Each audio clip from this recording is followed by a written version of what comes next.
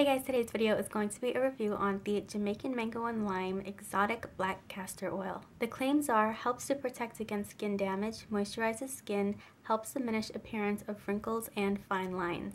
Castor oil has become a staple in my beauty routines. It can be used in so many different ways. As you saw in the demo, I used this on my hair, skin, and nails. These oils are all-purpose. They're made with Jamaican castor beans and the beans are roasted and grounded. These are formulated to be used on a daily basis. I use this in my hair to control frizz as well as keep my hair soft, hydrated, and smooth. It doesn't weigh my hair down at all and this has a really nice scent to it. This is also really great for the skin. During the winter months my skin tends to get really dry so I really like using this to help hydrate my skin as well as keep it soft and smooth.